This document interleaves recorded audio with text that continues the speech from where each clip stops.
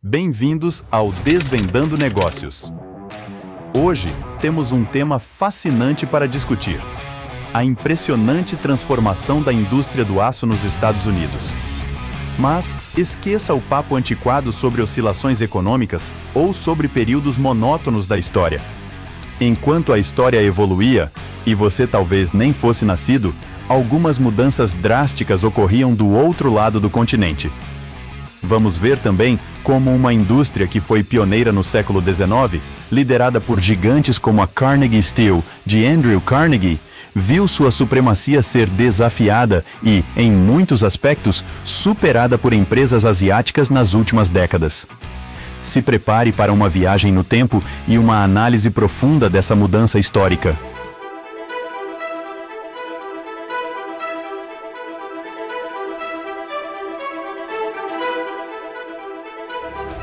No final do século XIX e início do século XX, os Estados Unidos eram os líderes indiscutíveis na produção de aço. Se você saísse batendo de porta em porta naquela época, perguntando aos moradores quem liderava a produção de aço, duas respostas você teria. A primeira delas, que raios de pergunta é essa? E a segunda, os Estados Unidos. Empresas icônicas como a Carnegie Steel, do ilustre Andrew Carnegie, revolucionaram a indústria e se mantiveram no topo da produção mundial. Após ser comprada por JP Morgan, a Carnegie Steel se tornou a US Steel, consolidando o domínio americano no setor siderúrgico. Essas transformações cíclicas desencadearam uma alternância contínua no poder, mas apenas dentro de um cenário nacional. No entanto, com o passar do tempo, o cenário mudou drasticamente. Hoje, as empresas asiáticas são as protagonistas da indústria siderúrgica americana. Como isso aconteceu? Vamos entender essa transição em detalhes. Mas já adianto que a resposta para essa pergunta pode não ser exatamente o que você está esperando, mas com toda certeza te pegará se surpresa.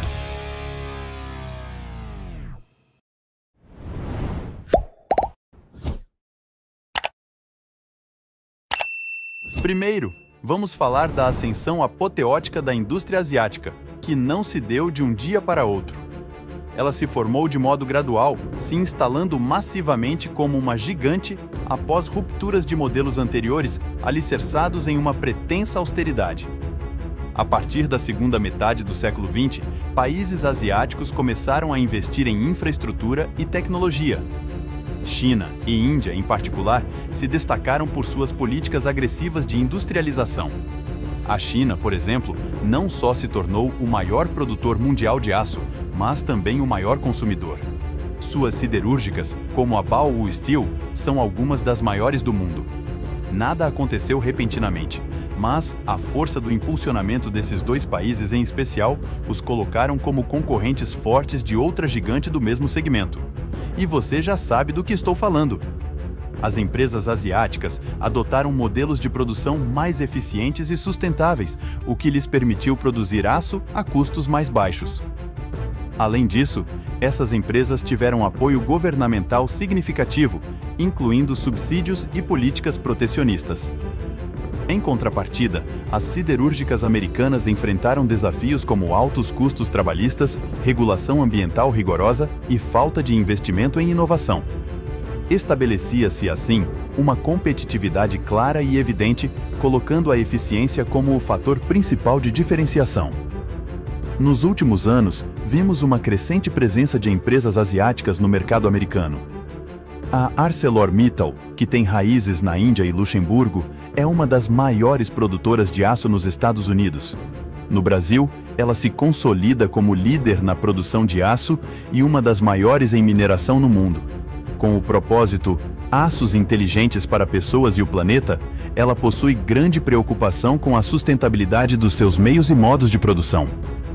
Nos ICM em sério, o lema deles é Inventando aços mais inteligentes para um mundo melhor ao se apresentar com diversas inovações e com uma estrutura de trabalho que possui capacidade anual de produção de aço bruto de 15 milhões de toneladas.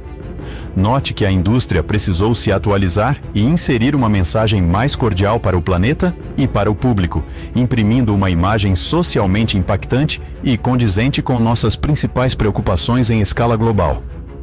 Não dava mais para ficar presa no passado, alheia às transformações. Mais recentemente, no final de 2023, a Nippon Steel, uma gigante siderúrgica japonesa, comprou a lendária US Steel, fabricante de aço americana e fundada em 1901 por mais de 14 bilhões de dólares. Nessa junção, ambas afirmaram que fundir suas capacidades criará uma indústria siderúrgica diversificada e competitiva nos Estados Unidos ao impulsionar o nicho de forma global, seguindo em direção a um mundo descarbonizado e mais sustentável. Mas quem não gostou nada disso foi Joe Biden, presidente dos Estados Unidos. Essa declaração não ocorre em momento atípico, tendo em vista a campanha política que se alastra pelo país.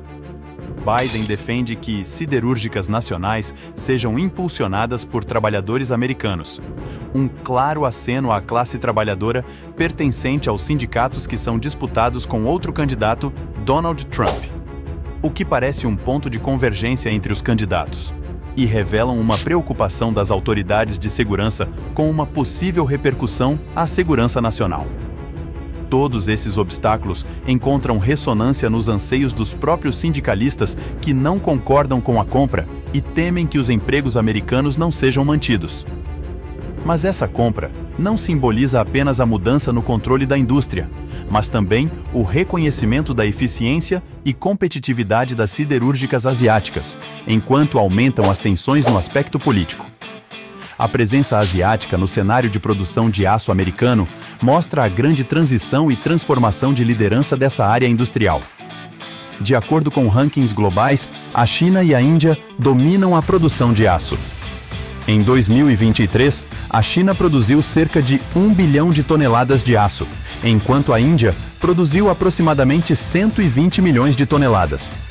Os Estados Unidos, em comparação, produziram cerca de 87 milhões de toneladas. Os números não mentem e nem enganam. O domínio asiático chegou e se consolidou até mesmo geograficamente em solo americano.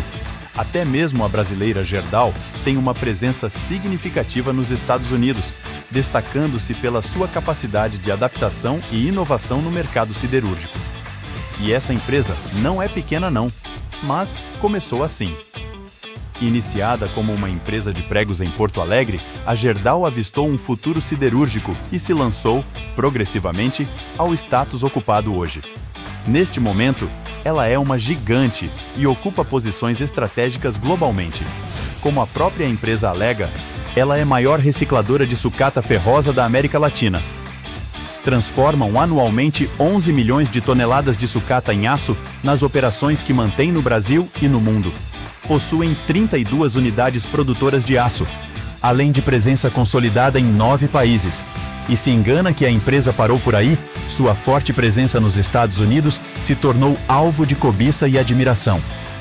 Se por um lado o jogo doméstico parece justificar sua presença no âmbito nacional, a grande partida é jogada no âmbito global.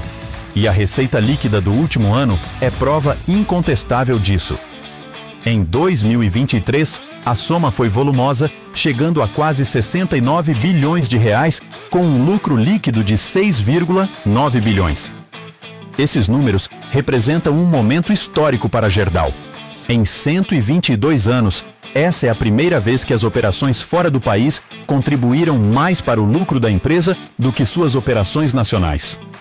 Essa operação sozinha é responsável por mais de 50% do indicador de rentabilidade.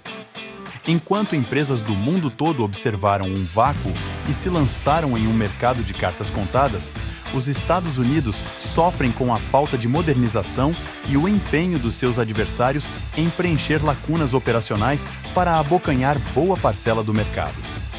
Com tudo isso, fica evidente que a crescente presença de empresas asiáticas trouxe tanto desafios quanto oportunidades para o mercado americano. Empresas, essencialmente aquelas com espaço e robustez para encontrar soluções, precisam aprender mais com as adversidades. O mundo está repleto de exemplos semelhantes. Por um lado, a competição acirrada pressiona as siderúrgicas americanas a se modernizarem e se tornarem mais eficientes, coisa que não acontecerá da noite para o dia, independente dos esforços contínuos. Os Estados Unidos ainda não avançaram apesar da pressão e da promessa de tomar o seu posto do passado, o que pode levar a um aumento na qualidade e na variedade dos produtos disponíveis no mercado, beneficiando os consumidores finais a curto e longo prazos. À medida que crescem e se atualizam, sem um competidor forte e robusto como concorrência direta, países como China e Índia se mantêm firmes e presentes na indústria e com grandes planos para o futuro. A indústria do aço nos Estados Unidos, que já foi um símbolo de poder industrial, passou por uma transformação significativa. A ascensão das siderúrgicas asiáticas mudou a dinâmica global, trazendo novos players para o centro do palco. No final, os titãs às vezes são meros obstáculos. A história da indústria siderúrgica americana nos ensina a importância da inovação, da eficiência e da adaptação às mudanças do mercado. Não como exemplos a serem seguidos, pois eles não fizeram o dever de casa. Dominar um mercado por tanto tempo, ainda mais no mundo como o nosso, é algo que deve ser celebrado.